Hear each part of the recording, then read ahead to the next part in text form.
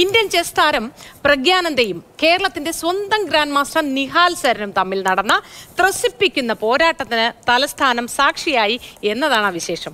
തീ പാറിയ മത്സരത്തിൽ ഏഴ് പോയിന്റ് ഏഴ് ദശാംശം അഞ്ച് പോയിന്റ് നേടി പ്രഗ്യാനന്ദ വിജയിയായി.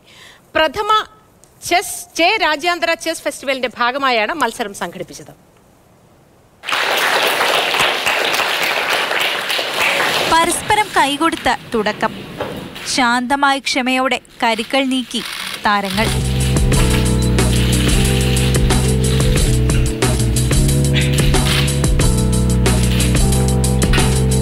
ആദ്യ റൗണ്ട് അവസാനിച്ചപ്പോൾ വിജയം സ്വന്തമാക്കി പ്രഖ്യാനന്ദ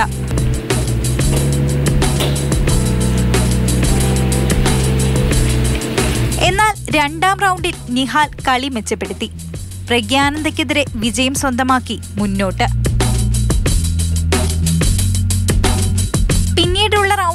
പ്രഗ്യാനന്ദ മുൻപിലെത്തിയെങ്കിലും അഞ്ചാം റൗണ്ടിൽ നിഹാൽ വീണ്ടും കളിയിലേക്ക് തിരിച്ചു വന്നു.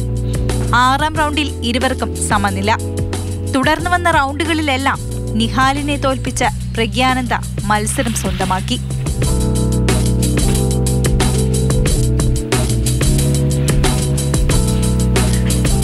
നിഹാലുമായുള്ള മത്സരം മികച്ചതായിരുന്നുവെന്നും ശക്തമായ എതിരാളികൾക്കൊപ്പമുള്ള മത്സരങ്ങൾ കൂടുതൽ കരുത്തു പകരുമെന്നും മത്സരശേഷം പ്രഗ്യാനന്ദ പറഞ്ഞു.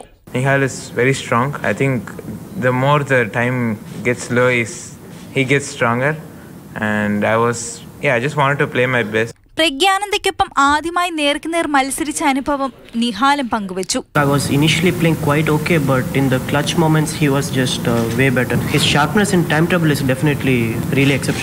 തിരുവനന്തപുരത്ത് സംഘടിപ്പിച്ച ചേച്ചസ് ഫെസ്റ്റിവലിൽ ക്യൂബയിൽ നിന്നും കേരളത്തിലെ എല്ലാ ജില്ലകളിൽ നിന്നുമായി നിരവധി ചെസ് പ്രേമികളാണ് പങ്കെടുത്തത്.